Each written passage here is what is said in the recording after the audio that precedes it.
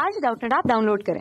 Doubtnut पर अपने सभी गणित, रसायन विज्ञान, भौतिक विज्ञान और जीव विज्ञान के डाउट्स का करो सफाया। बस प्रश्न की फ़ोटो खींचो, एक ही प्रश्न को क्रॉप करो और तुरंत वीडियो सोल्यूशन पाओ। अभी डाउनलोड करें। हेलो दोस्तों, प्रश्न है, समाकलन x की घात तीन बटे एक्स स्क्वायर प्लस एक डी का मान ज्ञात कीजिए। तो इस प्रश्न को कैसे करेंगे? यहाँ पे हमको समाकलन ज्ञात करना है, x की घात तीन बटे एक्स स्क्वायर प्लस एक का। X के सापेक्ष समाकलन बताना है। तो अब यहाँ पे हम क्या करते हैं?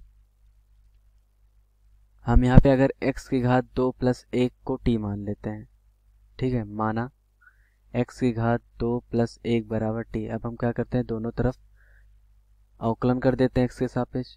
तो x की घात n का अवकलन हमको पता है।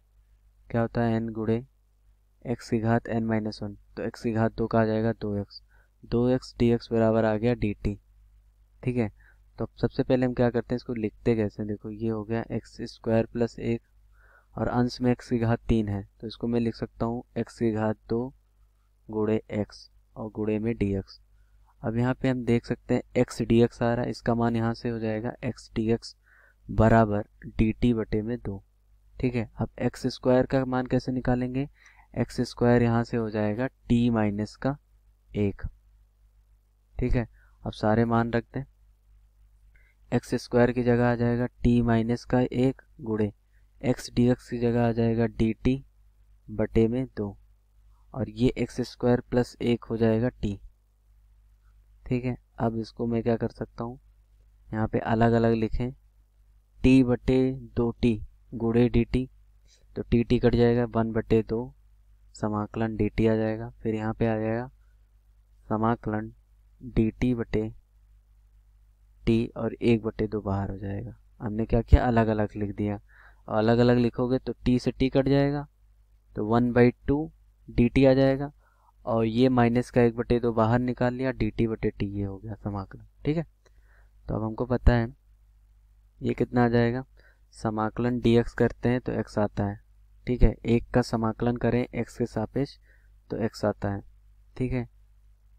क्योंकि हमको पता है x की घात n का अगर हम समाकलन करते हैं तो x की घात n प्लस वन बटे में x की घात n प्लस वन बटे में n प्लस वन तो एक को क्या लिख सकते हैं? x की घात ज़ीरो ठीक है तो इस सूत्र से x आ जाएगा। तो यहाँ से क्या आ जाएगा? एक बटे दो, ये आ जाएगा t माइनस एक बटे दो, और एक बटे x का अगर हम समाकलन करते हैं, x के सापेक्ष तो log मॉड ऑफ़ x आता है। तो यहाँ पे क्या आ जाएगा? लॉग मॉड ऑफ़ टी तो ये कितना आ जाएगा? यहाँ से आ जाएगा हमारा। और ये प्लस का समाकलन नियतांक, ठीक है? तो अब टी का मान रख देते हैं। तो टी का जब मान रखेंगे यहाँ पे तो कितना आ जाएगा? एक बटे दो कोष्टक के अंदर टी के अंदर आ जाएगा। एक्स स्क्वायर प्लस का एक माइनस एक बटे दो लॉग मॉड के अंदर टी है टी का मान है एक्स स्क्वायर प्लस का एक प्लस समाकलन स्थिरांक सी तो ये हो जाएगा उत्तर इस प्रश्न का। धन्यवाद। कक्षा छठी से बारहवीं से लेकर NEET I I T JEE वो एडवांस के लेवल तक। एक करोड़ से ज़्यादा छात्रों का भरोसा। आज ही डाउनलोड करें डाउट नेट ऐप या व्हाट्सएप करें अपने सारे डाउट्स आठ चार सौ चार सौ चार सौ पर।